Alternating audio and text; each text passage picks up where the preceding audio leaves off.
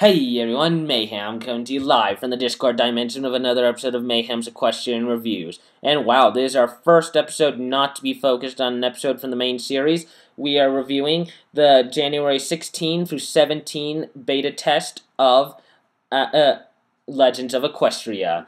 Now, this was a beta test for the new game Legends of Equestria, created by the Legends of Equestria uh, crew to be a uh, My Little Pony related MMO RPG.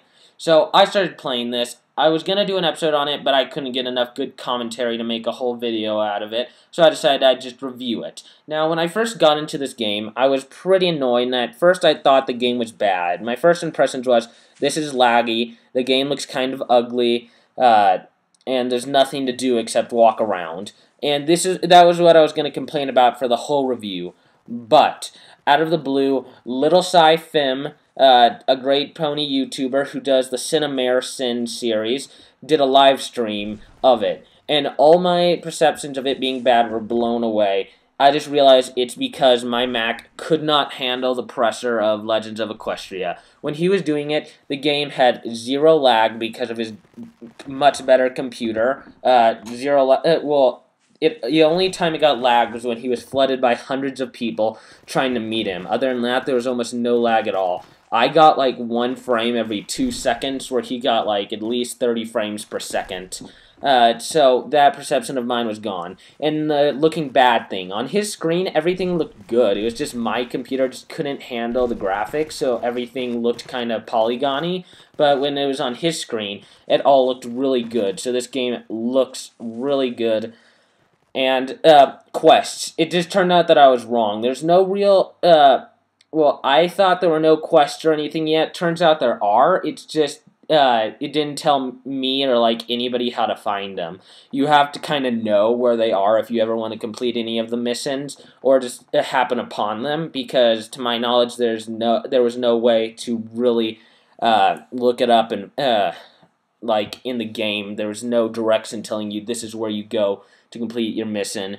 So that's a bit of a problem, but this is still a beta game, so it passes.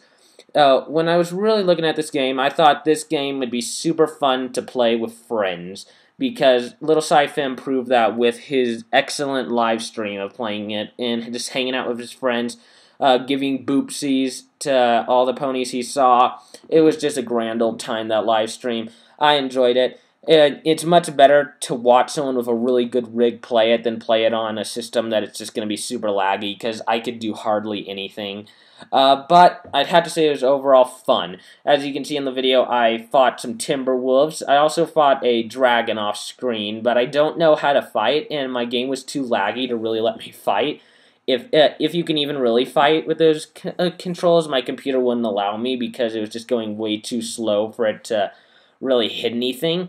So I was just awful at fighting. Uh, so other so you need to have a decent computer to play this. My MacBook Pro is not really handling it very well. But other than that, I say the game is coming along very well. At this rate, by the time it's done, it's going to be a really good game, I can tell. And if I had a good computer, it would be like the best to play ever. So, rating this as a beta game and not as an entire game, since it is not complete yet, I'll have to give it four out of five stars. The only thing holding it back from being five out of five stars for a beta game is the fact that there was no easily accessible way to uh, find quests that I know of, and I the combat system didn't really seem to be fully implemented.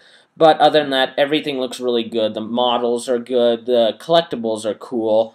Uh, I'd have to say that this has the potential to be something really amazing when it's completed, and I can't wait for the next beta test. Well, until uh, what do you think? Did I get it right? Did I get it wrong? Did you participate in this public beta? If you did, or if you have something to say about my review, leave it in the comment section below. I'd love to hear what you have to say. So, until next time, I'm Mayhem, coming to you live from the Discord dimension. And goodbye!